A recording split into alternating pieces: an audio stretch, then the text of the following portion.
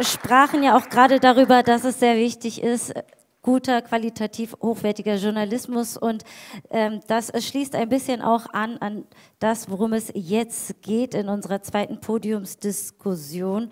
Und zwar um ja, Fake News und Desinformationen. Und zwar ähm, geht es da um die, ja, um das Austarieren der Falschinformationen. Und ähm, die haben, wie wir alle wissen, Macht. Ähm, sie verbreiten sich extrem schnell auf äh, diversen Social-Media-Kanälen und äh, können so zum Beispiel auch im politischen Bereich das Wahlverhalten beeinflussen oder auch natürlich dann wieder im realen Leben im Extremfall zu Gewalt führen. Wir diskutieren deshalb jetzt über Konsequenzen und Lösungen und äh, versuchen Ansätze zu formulieren. Deshalb würde ich meine Diskutantinnen zu mir jetzt hier auf die Bühne bitten wollen. Und Sie sehen auch schon im Livestream, wen wir da jetzt haben. Alles genau. Herzlich willkommen. Fighting Fake News and Desinformation. Was bringt den Lucky Punch? Und da begrüßen wir Sabine Frank, Head of Government Affairs and Public Policy von YouTube. Hallo und herzlich willkommen. Außerdem Markus Hartmann, Oberstaatsanwalt als Hauptabteilungsleiter bei der Staatsanwaltschaft Köln und Leiter der Zentral- und Ansprechstelle Cybercrime Nordrhein-Westfalen. Hallo. Caroline Schwarz, hallo und herzlich willkommen, Journalistin, Expertin für Desinformation und Rechtsextremismus im Netz und hier direkt neben mir Maike Koch. Ähm, außerdem hat sie ihren Master of Laws und ist Senior Counsel im Bereich Medienpolitik bei RTL Deutschland. So, jetzt haben wir es einfach einmal perfekt. Ähm, und ich würde gerne, weil wir auch darüber jetzt äh, sprachen, vielleicht noch mal ganz allgemein Ihre Definition, ähm, ja, vielleicht von Journalismus per se verstanden wollen, denn ähm, Fake News kursieren im Netz, in den Medien. Und meine Frage lautet, woran erkennt denn der vielleicht nicht medienaffine, was eigentlich Fake News sind. Denn für uns ist es, glaube ich, klar, wir sind da geschult, wir wissen, wie es funktioniert, welchen Mechanismen man nachgeht, Impressum, Quellenchecken etc. pp. Aber wie soll denn sozusagen der Laie eigentlich ähm, eine Quelle, eine äh, hochwertige Quelle unterscheiden können von einer falschen Information? Vielleicht fangen wir mit der freien Journalistin direkt mal an. Was sagen Sie, Frau Schwarz? Ähm, ja, Sie haben jetzt ja ein paar Beispiele schon genannt. Das Impressum ist natürlich eine Sache. Ähm, werden Quellen genannt? Gibt es eine Autorin, einen Autor, der genannt wird in einem äh, Artikel? Existiert der oder die überhaupt? Auch das ist äh, etwas, das sehr gern genutzt wird von sogenannten Alternativmedien, äh, einfach Namen zu erfinden.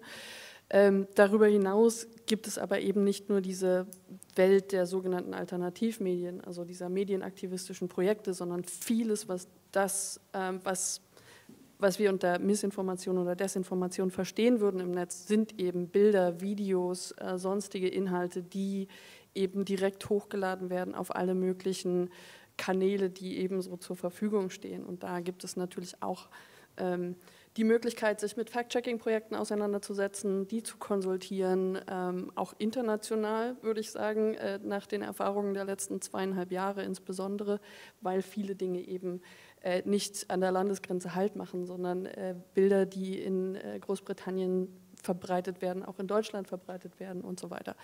Ähm, und dann lohnt es sich immer, sich mit einer Bilderrückwärtssuche vertraut zu machen. Den äh, Stichpunkt muss ich jetzt nennen, sonst ähm, werde ich als Journalistin ausgeschlossen aus dem Geheimbund der Journalistinnen. Ähm, also ähm, relativ einfach, ähm, was die Bilderrückwärtssuche macht, ist letztendlich äh, zu gucken, wo kommt ein Bild oder eben auch ein Screenshot aus einem Video im Internet nochmal vor. Und da kann man eben schon auch schnell herausfinden, ist ein Bild vielleicht schon fünf Jahre alt, ist es aus einem ganz anderen Land und so weiter. Dann, ähm, ja, Fangen wir mal mit Ihnen an, Frau Koch. Ähm, was meinen Sie, haben klassische Medien gegen Fake News auf sozialen Medien überhaupt noch eine Chance? Äh, wenn Sie erlauben, äh, mache ich noch mal einen Schritt zurück, bevor ich zu Ihrer Frage komme, und zwar ähm, zum Titel unseres Panels und äh, schließe an das an, was Frau Schwarz gerade auch schon ausgeführt hat. Ähm, Fighting Fake News and Disinformation. Ähm, das ist ein Begriff, Fake News, der ja im Volksmund inflationär gebraucht wird, bei dem wir als journalistisches Haus aber immer schon aufzucken wenn man das Wort wörtlich übersetzt, sind es ja falsche Nachrichten. Und ich glaube, das ist nicht ähm, das, worüber wir hier sprechen wollen. Ähm, das hat Frau äh, Schwarz ja auch gerade ähm, schon erläutert. Ähm, denn wenn wir ehrlich sind, sind Nachrichten ja das beste Mittel gegen Fake News oder wie wir besser sagen müssten, Online-Desinformation. Ähm, das diskreditiert die Journalisten, äh, eine ganze Branche, die sich ähm, dem Kampf gegen diese äh, Desinformation verschrieben haben und die ähm, das beste Tool, sage ich mal, sind, um den Usern und äh, Nutzern zu Hause eine Ordnung, Einordnung zu bieten, die die Möglichkeit haben, falsche Informationen, Online-Desinformation aufzudecken und verifizierte Inhalte, qualifizierten Journalismus äh, mit verlässlichen Informationen den Nutzern nahezubringen. Und an der Stelle ähm, bin ich weiterhin ähm, der festen Überzeugung, das haben die letzten Monate auch ganz deutlich gezeigt, dass Qualitätsjournalismus ähm, der Pfeiler unserer Informationen und ähm, auch tatsächlich die beste Basis für unsere Demokratie ist. Äh, wir haben nach den Vorwürfen der Lügenpresse, die 2016 ähm, äh, sehr laut wurden, in den letzten Jahren gerade im Zusammenhang äh, mit der Corona-Infodemie und insbesondere in den letzten ähm, 36 Tagen seit des Beginns des äh, Ukraine-Kriegs festgestellt, ähm, dass unsere Nachrichtenangebote, unsere Sondersendungen ähm, sehr nachgefragt werden, dass die Nutzer tatsächlich ähm, nach verlässlichen Quellen und Informationen suchen und auch wissen, bei welchen Marken sie diese finden können.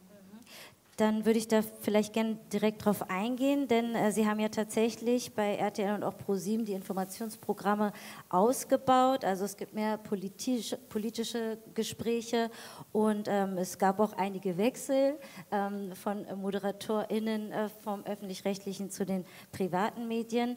Ähm, ein bisschen ketzerisch gefragt, ist das sozusagen auch eine Taktik, die dahinter steckt oder ist es tatsächlich sozusagen, dass ähm, Bedürfnis äh, des Mediums ähm, verstärkt auf Nachrichtenformate zu setzen? Äh, ich kann heute ähm, natürlich nur für RTL sprechen ähm, und äh, für RTL kann ich ganz klar sagen, wir hatten gestern äh, 30-jähriges Jubiläum äh, von Peter Klöppel mit RTL aktuell, der meistgesehenen Nachrichtensendung in der jungen Zielgruppe zwischen 14 und 59 Jahren. Ähm, und insofern ist das kein neuer Trend bei uns, sondern Informationen und Nachrichten waren ähm, schon immer ein wesentlicher Bestandteil unseres Hauses, unseres Angebotes. Ähm, und das ist was, worauf wir sehr stolz sind und was sich auch nicht von heute auf morgen ändern lässt. Also die ich glaube, über 200 Stunden Sondersendungen, die wir in den letzten äh, vier Wochen ähm, mit vierstündigen äh, Sondersendungen am Tag geleistet haben, die sind nur deshalb möglich, weil wir über 1500 Journalistinnen und Journalisten bei uns im Haus haben, weil wir Korrespondenten in der Ukraine und auch in Russland ähm, vor Ort haben, die die Lage dort einschätzen können, die dort professionellen Journalismus betreiben können, uns dementsprechend auch echte Informationen zuliefern und äh, nur weil wir in den letzten Jahren massiv äh, investiert haben, wir haben seit 2001 die Journalistenschule, in der wir alle zwei Jahre einen Jahrgang mit neuen Journalistinnen und Journalisten ausbilden. Wir haben ein Verifizierungsteam seit 2016, waren damals schon First Mover, wo wir unseren ganzen User-Generated Content überprüfen lassen. Wir haben ein Riesenapparat und Team, ähm, das sich ähm, dem äh, Journalismus verschrieben hat und Natürlich, wir sind im stetigen Wandel, ähm, hinterfragen regelmäßig ähm, Dinge, aber dass Information uns ein wichtiges Anliegen ist, ist nicht neu. Dann vielen Dank an dieser Stelle für die Einordnung. Ähm, Herr Hartmann, Sie bekämpfen Cyberkriminalität. Da vielleicht auch ganz einfach erstmal gefragt, äh, was ist Cybercrime, was versteht man darunter? Naja, auf die Frage eine einfache Antwort zu geben, ist eine echte Herausforderung. Also ursprünglich hat man ja mal vielleicht gesagt, Cyberkriminalität ist Angriff auf Datennetze, Angriff auf technische äh, Medien. Das ist das, was wir heute noch als Cybercrime im engeren Sinne nehmen. Aber mittlerweile ist auch die Zuständigkeit jetzt etwa äh, meiner Dienststelle auf sehr viele, naja, sagen wir mal, digitale Phänomene, Phänomene online erstreckt worden. Ähm, Cybercrime im weiteren Sinne, da gehört die digitale Hasskriminalität dazu, da gehören aber auch so Themen wie die Vorfolgung von äh, Kindesmissbrauchsdarstellung online dazu, sodass man, glaube ich, gar keine ganz scharfe Grenze mehr treffen kann. Letztlich je mehr sich im Leben digitalisiert, umso mehr digitalisiert sich auch die Strafbarkeit in diesem Bereich oder die Straftaten in dem Bereich. Und deswegen ist das äh, ja auch ein sehr fließender Begriff mittlerweile. Sie haben es gerade schon ein bisschen angesprochen. Es ist also nicht einfach nur eine technisch-technologische Frage, sondern auch eine gesetzliche. Inwiefern äh, muss das Gesetz da vielleicht auch äh, stärker darauf eingehen? Also wenn wir auf die materiellrechtlichen Tatbestände gucken, also das, was strafbar ist, dann muss ich Ihnen offen sagen, sehe ich derzeit keine großen Lücken, dass wir in bestimmten Bereichen nicht verfolgen können, weil etwas strafwürdig identifiziert ist, aber nicht strafbar wäre. Die letzten Lücken, die wir in diesem Bereich ja noch gesehen haben, sind ja auch mit dem, den jüngeren Gesetzesreformpaketen, etwa mit dem verstärkten Schutz von äh, politisch tätigen ähm, Betroffenen nochmal adjustiert worden und, und dann auch verändert und verbessert worden, sodass ich in dem Bereich, glaube ich, eigentlich keine großen Lücken sehe. Was man in der Tat als Frage aufwerfen muss, ist, und das ist auch in einer der Vordiskussionen ja schon angeklungen ist, ist der Vollzug der gesetzlichen Grundlagen, die wir haben, denn immer schon so aufgestellt, dass wir tatsächlich zufrieden sein können. So, und äh, dann muss man sicher attestieren, dass gerade im Bereich der digitalen Hasskriminalität ähm, es gute Gründe gibt dafür, dass die Strafverfolgung auch eine gewisse Zurückhaltung an den Tag legt. Wir haben über die Fragen Eingriff in Meinungsfreiheit und Ähnliches auch schon gesprochen. Wir verstehen uns nicht als Zensurbehörde. Also die Aufgabe der Kolleginnen und Kollegen in meinem Team, die sich jetzt mit digitaler Hasskriminalität beschäftigen, ist nicht, bestimmte Meinungen zu verfolgen. Das ist übrigens ein Vorwurf, der ganz am Anfang unserer äh, Arbeit in diesem Bereich sehr, sehr oft geäußert wurde. Ihr verfolgt ja spezifische Meinungen. Nee, wir verfolgen dann äh, bestimmte Äußerungen, wenn sie über die Regelgrenzen dessen, was der strafrechtliche Rahmen vorgibt, hinausgehen. Und da ist sicher noch eine ganze Reihe von Sachen, die man, die man verbessern kann. Vielleicht ein ganz kurzes Beispiel nur dafür, damit Sie die, Dimension sehen. Wir haben gerade über das Netzwerkdurchsetzungsgesetz gesprochen. Da hat äh, im Rahmen des Gesetzgebungsprozesses ähm, alle beteiligten Stellen, auch die, die Regierung, ja eine Prognose abgegeben, wie viele Verfahren erwartet man denn? Das waren 250.000 war die Zahl, die da genannt ist. So, jeder, der ein bisschen sich in der Strafverfolgung auskennt, ähm, weiß, dass 250.000 Verfahren, ich bleibe jetzt mal nur im Bereich der Justiz, ähm, ein sehr, sehr fleißiger Staatsanwalt, eine sehr, sehr fleißige Staatsanwältin kann in diesem Bereich vielleicht, dann ist man schon extrem motiviert, 1000 Verfahren pro Jahr bearbeiten. Macht das auch etwas einfacher mit der Rechnerei. Heißt also, wir bräuchten bundesweit gesehen 250 Staatsanwältinnen und Staatsanwälte. Dieser Punkt ist in der Debatte, auch in der Gesetzgebung, mittlerweile berücksichtigt worden. Da über den Lauf der Entwürfe, wenn man die mal historisch nachvollzieht, ist das reingekommen. Bis heute findet sich in keinem der Texte irgendeine Ausführung dazu, wie viele Polizeibeamtinnen und Polizeibeamten, denn da sind die ja, unsere Kolleginnen und Kollegen sind im Bereich dieser Verfolgung. Und ich glaube, die, diesen Punkt muss man nochmal ganz scharf in den Blick nehmen. Es nützt nichts, ein Gesetz zu schaffen, Dinge unter Strafe zu stellen, wenn die Voraussetzungen für die Verfolgung dieser Straftat dann nicht sind. Dann bleibt es letztlich ein symbolischer Schritt. Ähm, aber YouTube zum Beispiel hat ja auch Handlungsspielraum. Deshalb meine Frage auch an Sie, Frau Frank. Ähm, wann werden denn bei YouTube Videos aus dem Netz genommen? Ähm, unterschiedliche Gründe gibt es da, aber erlauben Sie mir auch ganz kurz sozusagen eine Präambel.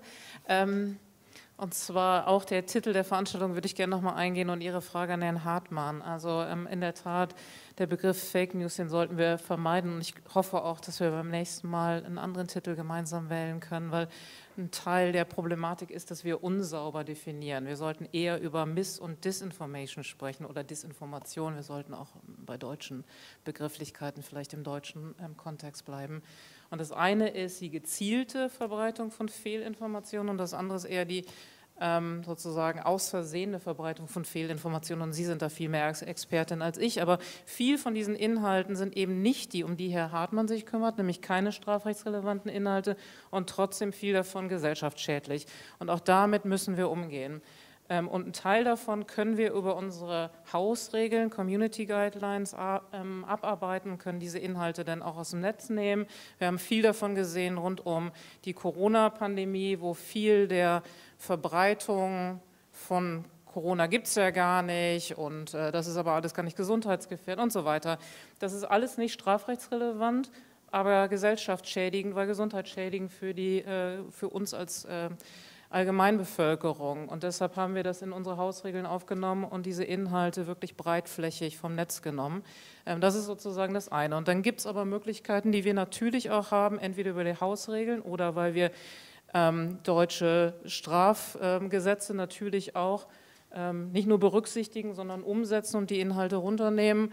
Und äh, genau, insofern Ähnlich wie Frau Weber das gesagt hat, haben wir das NetzDG auch sehr frühzeitig, sehr umfänglich umgesetzt, haben Meldemöglichkeiten angeboten und kriegen etwa so 70.000 Meldungen ähm, im Jahr, also durchaus ganz relevante Größen und äh, davon nehmen wir die, die aus unserer Sicht strafrechtsrelevant sind, ähm, auch vom Netz. Also es gibt so eine kaskadierende Möglichkeit von, von Dingen, die wir tun können. Wir arbeiten eng auch mit Medienhäusern zusammen, weil, wie Frau Koch, finde ich, sehr richtig gesagt hat, eines der zentralen Themen zur Kampf von Missinformation ist die ähm, verlässliche Information. Und da sind wir als Plattform natürlich, haben wir die Möglichkeiten, solche Informationen dann auch ähm, Menschen nahezubringen. Und das tun wir über unterschiedliche Tools, die wir auf der Plattform zur Verfügung stellen. Das haben wir sowohl in Corona gesehen, als auch bei der Bundestagswahl gesehen und sehen es jetzt auch gerade in der Kriegssituation, dass sowas sehr stark nachgefragt wird auch und insbesondere in äh, sozialen Medien, die wir darstellen. Das heißt, Sie korrigieren sich dann auch oder äh, verändern sozusagen Ihre Maßnahmen? Also können Sie einen Einblick darüber geben, wie erfolgreich Sie damit sind, also gegen Desinformation, Falschinformationen bei Google und YouTube einzugehen? Ja, natürlich, das ist ja ein bewegliches Ziel. Also die Missinformation oder Desinformation ist ja sehr unterschiedlich, je nachdem, über welche Inhaltsthemen wir sprechen. Also ich habe Corona angesprochen, da sehen wir völlig andere Narrativen, als wir jetzt gerade in der Kriegssituation sehen. Und äh, das heißt, wir passen natürlich auch ständig unsere eigenen Hausregeln an. Also allein in der Corona-Zeit, ich komme immer darauf zurück, weil das so kein abgeschlossenes, aber ein bisschen mehr Erfahrung als jetzt gerade in der aktuellen Kriegssituation ist. Also wir haben in den zwei Jahren rund zehn Veränderungen an unseren eigenen Hausregeln vorgenommen, weil wir ähm, gesehen haben über die Zeit, dass sich immer unterschiedliche Narrativen zeigen, die äh, und wir hatten natürlich die Möglichkeit, mit der WHO und äh, lokalen Gesundheitsbehörden dort im engen Austausch auch gegenzuprüfen, stimmt es denn überhaupt? Ist es denn richtig? Wir sind ja nicht die Experten für diese Gesundheitsthemen. Das heißt, wir waren immer im engen Austausch da und haben uns selbst natürlich auch korrigiert. Wir haben gesehen, dass mehr Informationen notwendig sind. Das heißt, wir haben so ähm, Informationsfenster eingezeigt. Wenn ich nach Corona gesucht habe, habe ich dann einen Hinweis zur Bundeszentrale für gesundheitliche Aufklärung gekriegt und so weiter. Jetzt in der aktuellen Situation schauen wir, wie wir ähnliche Maßnahmen anbieten können, um möglichst ähm, klare Informationen auch äh, anzuzeigen. Also wir haben zum Beispiel ein letztes Beispiel, dann höre ich auf, in der, sowohl in der Ukraine als auch in den Nachbarländern, insbesondere in Polen, sogenannte SOS-Alerts geschaltet. Das heißt, für ukrainische ähm, Geflüchtete, die sich ähm, informieren wollen, wo sie eine erste Hilfe bekommen, ähm, gibt es eine Information, die dann zur, ähm, zu, ähm, ich, die, ich äh, verwechsel immer die Abkürzung im Kopf, also zu ähm, UN, zu UN-Einrichtungen, die für sozusagen diese Displaced Persons zuständig sind. Da verweisen wir drauf. Insofern gibt es auch da immer wieder Möglichkeiten und Adaptionen, die wir in der Plattform vornehmen. UNHCR, jetzt habe ich es. Äh, dann äh, würde ich vielleicht an dieser Stelle nochmal wieder einen Bogen spannen äh, zu äh, dem Thema Rechtsextremismus, äh, worüber wir vorhin auch sprachen, beziehungsweise eine äh, zu hören bekam von ähm, Hans Demmel. Richtig, da sitzt er. Und zwar, ähm, Sie, Frau Schwarz, haben ja das Buch Hasskrieger, der neue globale Rechtsextremismus auch geschrieben. Ähm, welche Rolle, was würden Sie sagen, spielen Desinformationen beim Rechtsextremismus? Ähm, eine von vielen natürlich. Also ähm, Desinformationen sind ein Mittel. Es gibt Akteure, die von einem Infokrieg sprechen. Das hat man außerhalb des Rechtsextremismus, beobachtet man das in der Form nicht, außer wenn man von äh, staatsgelenkten Medien vielleicht noch zusätzlich ausgeht. Ähm, das spielt eine Rolle. Wir haben das bei der AfD gesehen, beim früheren Pressesprecher, der ähm, in, als er äh, mit einer Falschmeldung, die aus der Fraktion oder aus, dem, aus der Partei verteilt wurde, gesagt hat, naja, wenn es ins Narrativ passt, dann, dann ist es halt so, dann äh, macht es auch nichts, wenn das eine Falschmeldung ist. Also es gibt da einen relativ laxen Umgang, das ähm, sieht man, wenn man sich die Parteienlandschaft anguckt, ebenso wie wenn man sich außerparteiliche, vielleicht auch lose Akteure anguckt. Ähm, das ist so und das ist natürlich ein ungleiches äh, Spielfeld an der Stelle, wo demokratische Akteure versuchen, ähm, dem etwas entgegenzusetzen, wenn eben die Lüge vollkommen okay ist. Ähm, wir haben das 2015, 16 gesehen mit den Falschmeldungen über Straftaten von Geflüchteten, die da massiv verbreitet wurden zu der Zeit. Wir sehen es jetzt wieder, äh, zumindest in einigen Fällen, wo Rechtsextreme, die sich nicht der Ukraine oder spezifisch ähm, dem Azov-Regiment ähm, zugehörig fühlen, auch die gibt es, ähm, wo da eben viel weiter verbreitet wird. Ähm, wir sehen Überschneidungen, wenn wir ähm, RT zum Beispiel sehen, äh, das ist jetzt nicht spezifisch rechtsextrem, aber ähm, die, die, die, Grenzen sind ja fließend. Ähm, vorsichtig gesagt, äh, wir sehen, dass es eben auch eine gegenseitige Verstärkung gibt, dass zum Beispiel RT ähm, im letzten Jahr und auch im ersten Jahr der Pandemie eben sehr viel die deutschen äh, Gruppierungen äh, übernommen hat, denen Raum gegeben hat, die eben Verschwörungserzählungen über äh, Corona, über Impfungen verbreitet haben. Also ähm, das Feld ist groß und das ist ein Mittel, wie äh, Hass ähm, Menschen einschüchtern eben auch ein Mittel ist. Wir haben ja auch schon ähm, vorhin viel über die Ursachen gesprochen oder über die Menschen, die sich dann hingezogen fühlen, aber vielleicht auch nochmal aus Ihrer Perspektive. Ähm, wer sind denn die Menschen, die auf den Rechtsextremismus, ja, ich sag mal, reinfallen? Also für mich ist das eine Ideologie, die natürlich nicht nachvollziehbar ist, aber es, äh, wir haben ja auch gelernt, man verliert ähm, zunehmend anscheinend auch intellektuelle Journalisten, die sich einfach dann ähm, dem Rechtsextremismus anschließen. Was äh, sind da die Motive? Das könnte jetzt auch so ein Co-Referat Sozialforschung der letzten äh, 100 Jahre werden.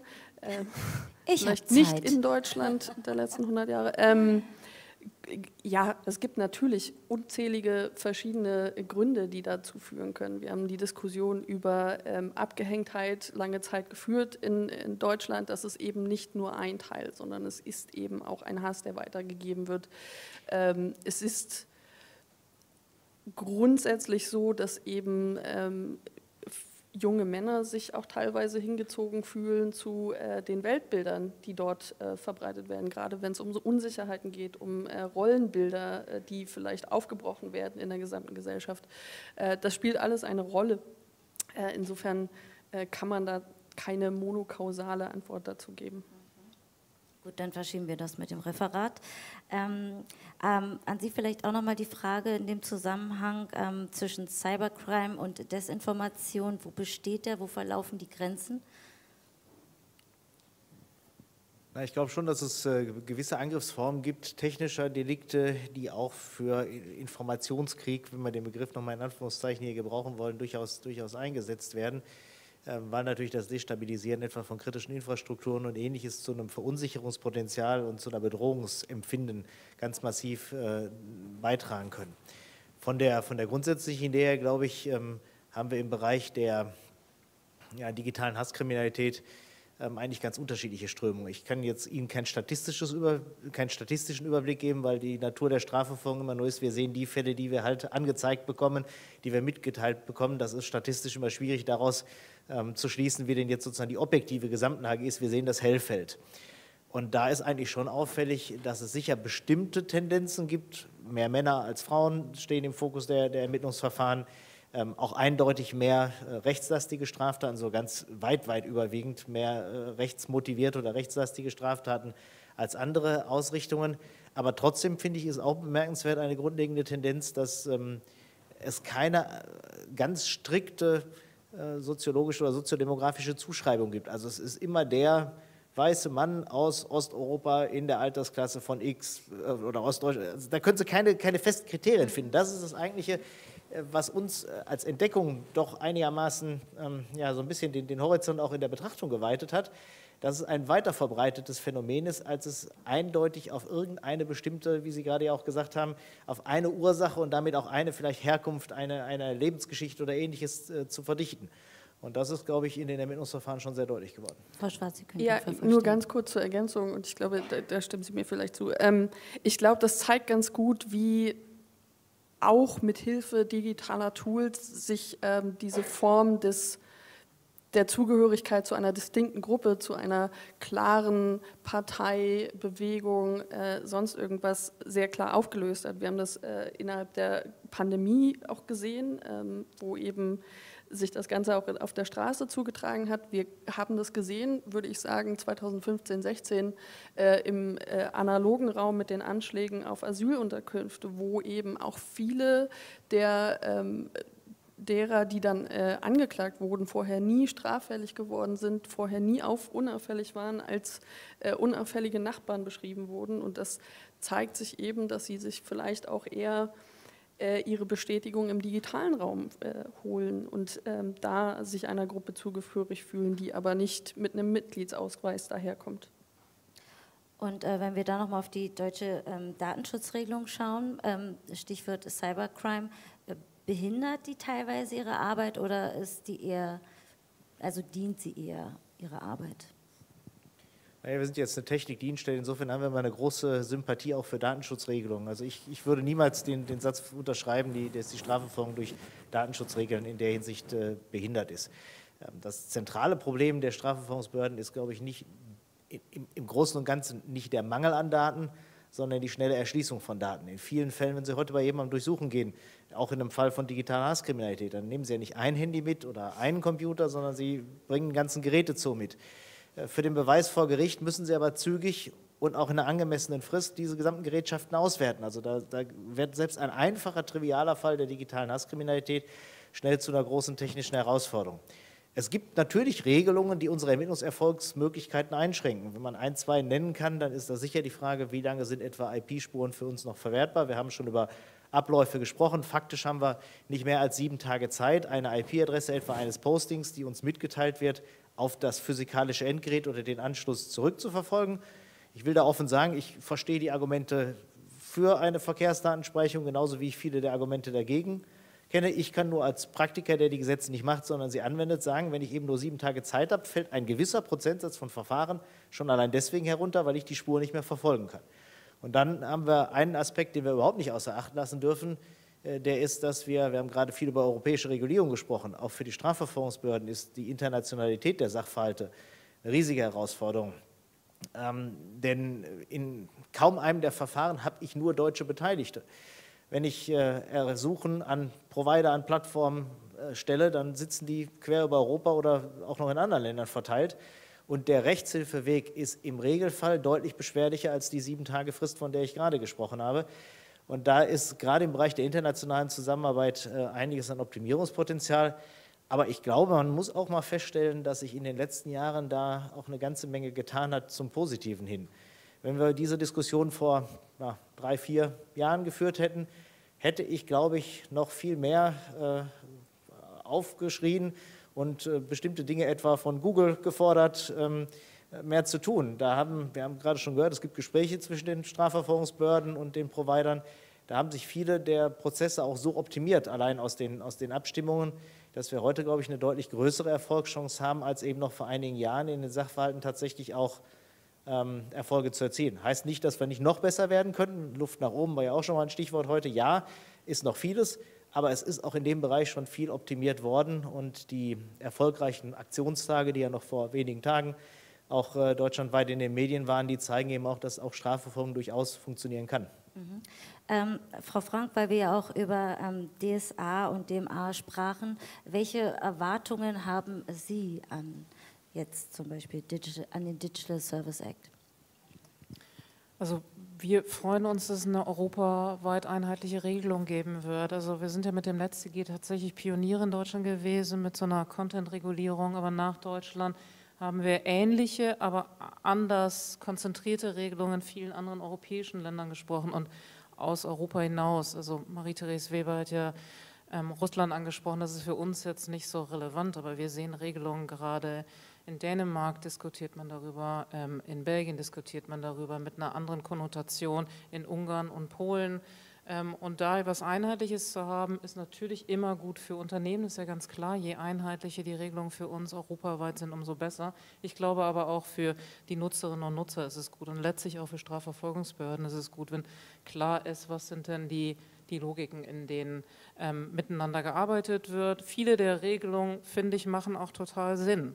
Also, dass ähm, uns mehr Transparenz auferlegt wird, macht natürlich Sinn. Da kommt es auf die Details an, wo man sich fragen kann, na, hat man dann wirklich die ganzen ähm, un, sozusagen Folgekonsequenzen bedacht. Aber ich will Sie gar nicht langweilen heute mit den Details, sondern eigentlich nur mitgeben, vieles in dem DSA ist wirklich richtig.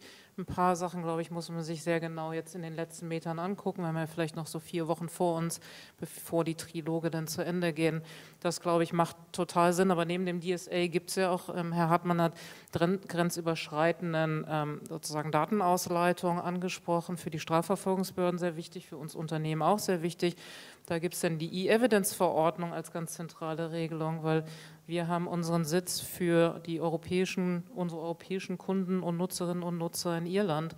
Wenn also eine deutsche Strafverfolgungsbehörde uns anfragt, dann ist es eine grenzüberschreitende Ausleitung von Daten, die wir vornehmen. Dafür gibt es eigentlich die E-Evidence-Verordnung und nicht den Netz, das NetzDG und auch gar nicht den DSA.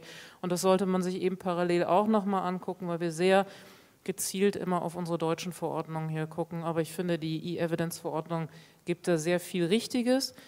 Aber wir brauchen gar nicht Verordnungen, um voranschreiten zu können. Herr Hartmann hat ja auch schon gesagt, viel hat sich bewegt, das sehen wir auch so. Deutschland ist das Land mit den zweitmeisten Auskunftsersuchen im Übrigen im Strafverfolgungsbereich und wir beaufkunften ungefähr so 75 Prozent positiv. Das heißt, da werden die Daten ausgeleitet. Viel von dem, was wir nicht ausleiten können, hat denn damit zu tun, dass manchmal die Anspruchsgrundlagen nicht richtig genannt sind und so. Und Daten haben wir, glaube ich, Herr Hartmann, Sie würden mich, glaube ich, bestätigen, auch gemeinsam viel Positives erreicht, indem wir ähm, zusammen unabhängig voneinander auch Schulungen angeboten haben an die Kolleginnen und Kollegen von den Polizeien und Staatsanwaltschaften, um zu sagen, was muss man denn eigentlich bei uns abfragen, um die Daten, die natürlich gebraucht werden, auch zu bekommen.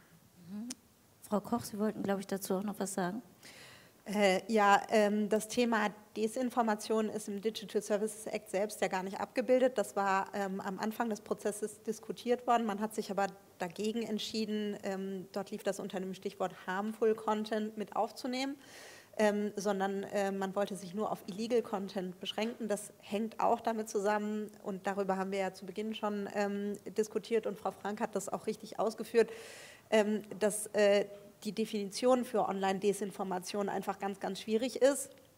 Man kann natürlich immer sagen, ähm, dass das mit einer Manipulationsabsicht verbunden sein ähm, muss, so wie es auch die High-Level Expert Group 2018 ähm, schon festgelegt hat. Aber das wahre Gefährdungspotenzial von Desinformation liegt ja oft in den Bereichen, die salopp gesagt awful but lawful sind. Also Dinge, die nicht justiziabel sind, die aber eben einen so starken äh, Fokus auf Teilbereiche ähm, aufnehmen, dass sie andere wesentliche Informationen weglassen und dadurch eben bewusst einen Drall an Informationen geben, die dann eben im Endeffekt, ähm, doch äh, zu den unerwünschten Ergebnissen führen. Ähm, das ist auch der Grund, ähm, und ähm, damit hatte ich ja begonnen, warum Qualitätsjournalismus so wichtig ist und ähm, das ist ähm, auch der Grund, warum wir die Refinanzierung von privaten Medien an der Stelle eben so wichtig finden, was wir an der Stelle eben auch gerne im Digital Services Act berücksichtigt sähen. Ähm, jetzt hat heute ja der vierte Trilog stattgefunden und ähm, dort ist auch wieder über das Thema Werbeverbote gesprochen worden. Ähm, äh, Sie wissen alle, duales äh, System. Wir als private Rundfunkanbieter, wir finanzieren die Nachrichteninhalte durch äh, den Verkauf von Werbung. Insofern ist das natürlich für uns ganz, ganz schwierig, wenn unser Geschäftsmodell an der Stelle so stark beschnitten wird, unseren Job, den wir wichtig nehmen und sehen, ähm, an der Stelle auch weiterhin so auszuüben. Dafür wollte ich nochmal sensibilisieren. Ähm, und zweiter Punkt, mit dem wir ähm, beim Digital Services Act leider nicht durchgedrungen sind, ähm, ist das Thema kein Eingriff in die journalistisch-redaktionelle Hoheit äh, professioneller Medieninhalte. dass also auf Online-Plattformen die Inhalte von Medienanbietern nicht von den Plattformen aufgrund ihrer selbstgegebenen Community-Standards runtergenommen oder gelöscht werden dürfen. Das ist in der Vergangenheit leider passiert und ähm, äh, insofern hätten wir uns gewünscht, dass ähm, wir als Medienanbieter an der Stelle geschützt werden. Aber ähm, Sie sind ja auch ähm, als Privatsender auf sozialen Netzwerken aktiv. Inwiefern können Sie die beeinflussen? Was können Sie dort alles bewirken?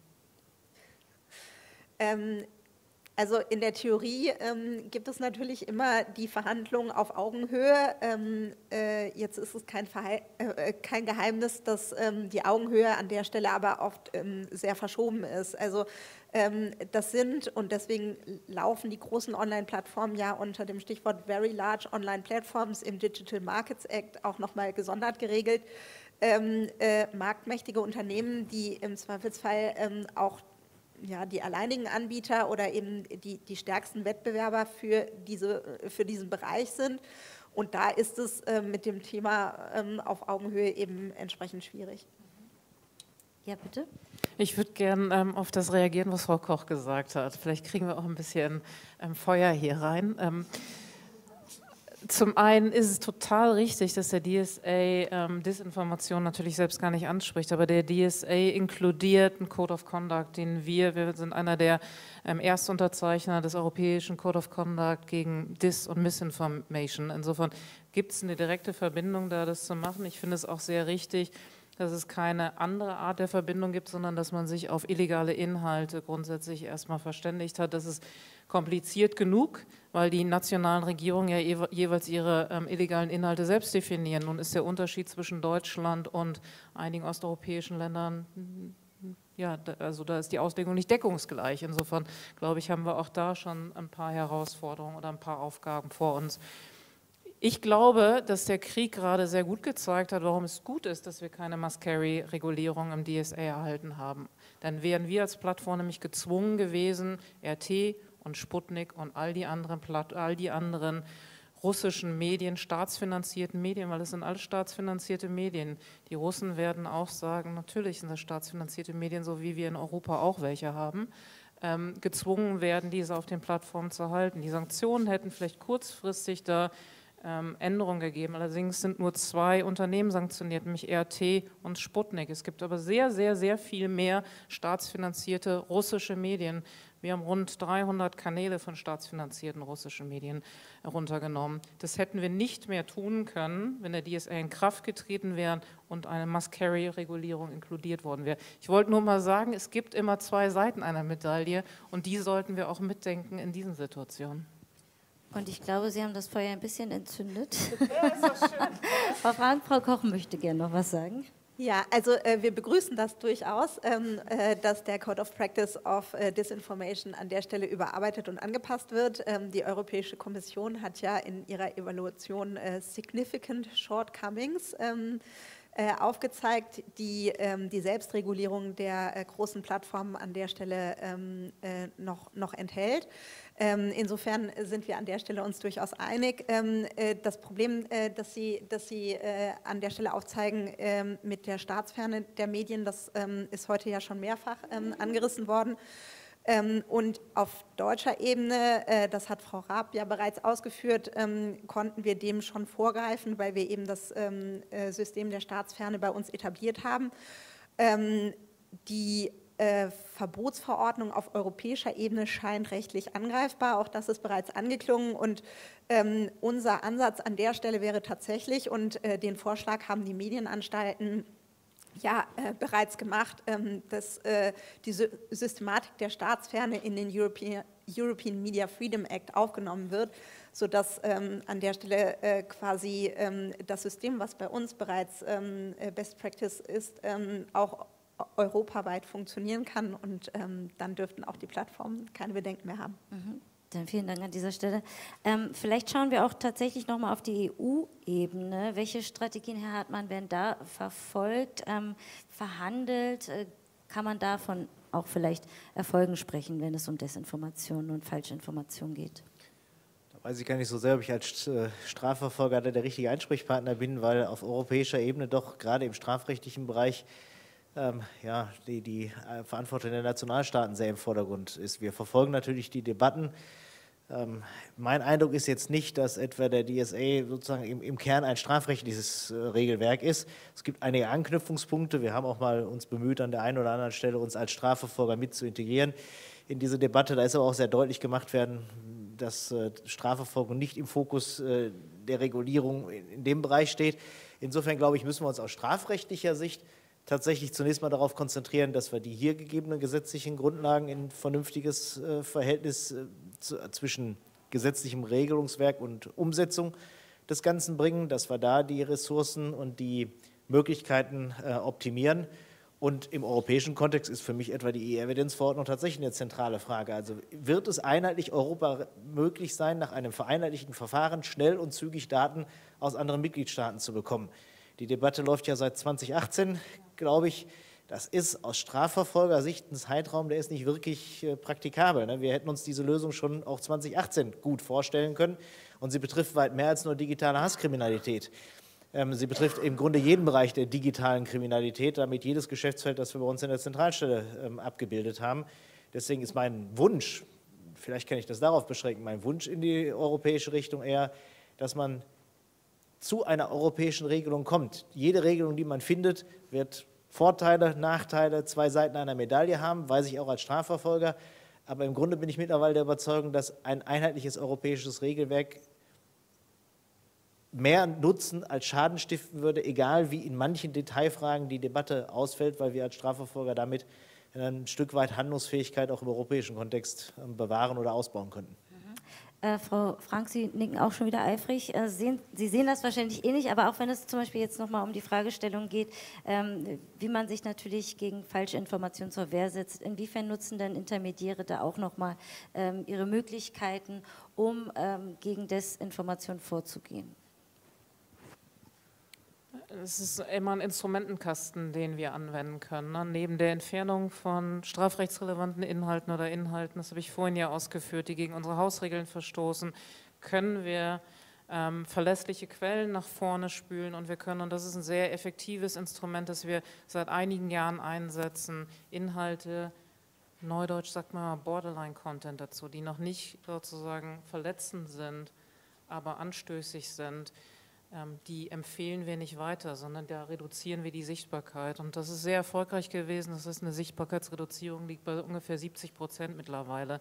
Also im Gegen, das Gegenteil von dem, was Tabea Rösner vorhin zu anderen Plattformen gesagt hat, passiert bei uns. Zu sagen, solche Borderline-Inhalte kriegen nicht mehr Aufmerksamkeit, sondern im Gegenteil weniger Aufmerksamkeit.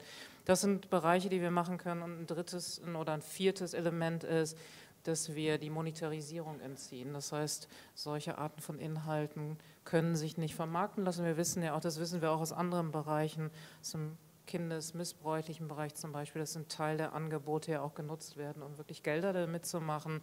Ich glaube, das ist wichtig, dass wir einfach auch da den Boden entziehen und ähm, keine Monetarisierungsmöglichkeiten erlauben. Mhm. Also das sind unterschiedliche Maßnahmen, die wir da einsetzen. Mhm. Also wäre ein Punkt noch gestatten, dass ich da einer, da vielleicht kann ich auch noch ein bisschen Feuer äh, entzünden. Ähm, wir haben ja heute schon gesprochen über die Regelung im Netzwerkdurchsetzungsgesetz äh, und die, das Verfahren von dem Verwaltungsgericht in Köln, das ja im Ergebnis dazu führt, dass die beschlossene Meldepflicht für äh, soziale Medien- und Plattformbetreiber faktisch derzeit nicht umgesetzt wird und äh, die politische Perspektive, die in der vorangegangenen Diskussion aufgemacht wurde, ist ja sicher auch richtig, dass man dazu einer einheitlichen Überarbeitung wird kommen müssen. Die entscheidende Frage jetzt aus Sicht der Strafverfolger ist, wie füllen wir denn diese Lücke bis dahin? Also wir haben die politische Entscheidung gehabt, eine Meldepflicht einzuführen mit der nachvollzogenen Argumentation. Die kommt jetzt nicht aus unterschiedlichen Gründen, die das Verwaltungsgericht Köln ähm, in seiner Entscheidung erläutert hat. Ähm, das kann ja nicht in der Antwort heißen, wir verfolgen jetzt in diesem Bereich Hasskriminalität mit gebremstem Schaum oder nicht mit der gleichen Intensität, Deswegen ähm, ist meine Hoffnung, dass wir jetzt auch in dem schon angesprochenen Diskurs mit den Plattformbetreibern, aber auch mit vielen anderen NGOs, die sich in diesem Bereich engagieren, ähm, ein Alternativmodell finden. Also ganz konkret formuliert, ich würde mir an dieser Stelle noch mehr Engagement auch von den Plattformbetreibern wünschen, Inhalte, die sie selbst als strafrechtlich relevant qualifizieren. Das haben wir ja auch gehört. Wir haben gehört, dass Meta 40.000 Menschen weltweit beschäftigt, die identifizieren ja strafrechtlich relevante Sachverhalte. Als Anzeigenerstatter treten die Plattformbetreiber bislang bei den Staatsanwaltschaften nicht in Erscheinung. Und das ist, glaube ich, eine Lücke, mit der wir sehr viele Dinge auch, die in Bezug auf Meldepflichten, auf staatliche Regulierung und so weiter äh, diskutiert werden, entschlacken könnten, wenn einfach alle, die auf der guten Seite in der Bekämpfung von Hass, von Desinformation stehen, sich in diesem Sinne noch stärker zu einer gemeinsamen Vorgehen verpflichten. Und da würde aus meiner Sicht als Strafverfolger eben auch sehr dazu gehören, dass die Plattformbetreiber auch durch die Erstattung von Anzeigen, man kann reden, welche Delikte es betreffen soll, man kann Schweregrade festlegen, aber ganz grundsätzlich sich eben auch zu einer nicht nur reaktiven, sondern auch aktiven äh, Vorgehensweise gegen Hass und das ist die Strafverfolgung und die Strafanzeige entschließen. Mhm, ein wichtiger Appell, glaube ich, an dieser Stelle. Darf ich darauf antworten? Sie dürfen darauf antworten, ja, bitte. Ähm, also der Aufforderung sind wir, kommen wir schon lange nach, und zwar in Bereichen, wo wir eine Verletzung von und Gefährdung von Leib und Leben sehen und wahrnehmen. Dort erstatten wir Anzeigen und geben Informationen weiter.